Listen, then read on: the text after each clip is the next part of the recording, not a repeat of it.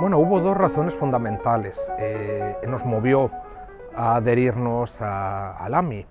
Eh, en primer lugar, nosotros estamos eh, distribuidos por seis países, países muy, muy distintos, en América Central y en el Caribe.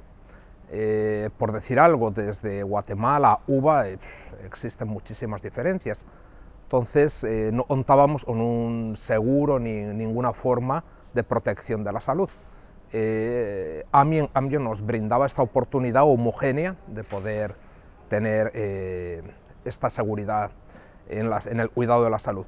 La segunda razón era un poco la importancia en AMI se le da al aspecto solidario. Es un grupo de naturaleza eclesial y eso no, fue una de las grandes razones también que nos movió a finalmente de, definirnos por AMI. Sí.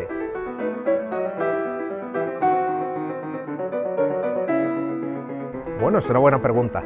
Este, América Latina tiene una amplia tradición en la vida consagrada y en la vida sacerdotal de estar muy unida. Tanto la LAR eh, agrupa a la vida consagrada como el CELAM eh, agrupa a los sacerdotes, a las diócesis, eh, han tenido una sólida tradición de apoyo. Yo creo que a mí de alguna manera su carácter solidario puede ser una gran razón por la cual eh, tanto la LAR como el CELAM debieran eh, ser un apoyo y un referente y a mí eh, beneficiarse de, de, esta sólida tradición de apoyo entre grupos de iglesia. Yo creo que sí, efectivamente podemos tener ahí una gran oportunidad.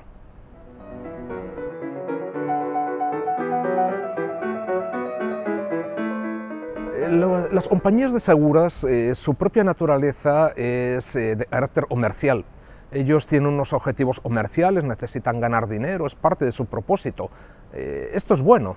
en cambio, AMI tiene una naturaleza eclesial, su sentido solidario de apoyo a la protección en el cuidado de la salud de religiosos, sacerdotes, religiosas, es una gran osa. Entonces, eh, para nosotros pensamos que eh, los grupos de iglesia eh, van a encontrar mucho sentido y mucha importancia al querer agruparse a AMI. Sí.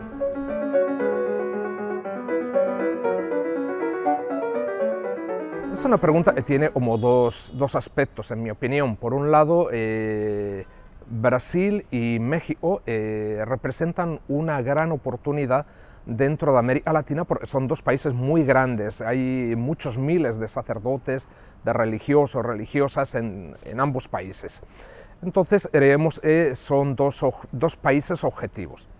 Eh, Brasil tiene una diferencia respecto a México y es que existe mucho problema para eh, poder eh, sacar dinero o recibir dinero de esos países. entonces, es posible si contemos ahí con una dificultad añadida. México me parece es más fácil y es más, más probable. Y en cuanto a los eh, religiosos o sacerdotes están enfermos, eh, forma parte de la política de AMI en el momento de la adhesión, eh, esta persona puede ingresar con estas situaciones de salud ya están preestablecidas.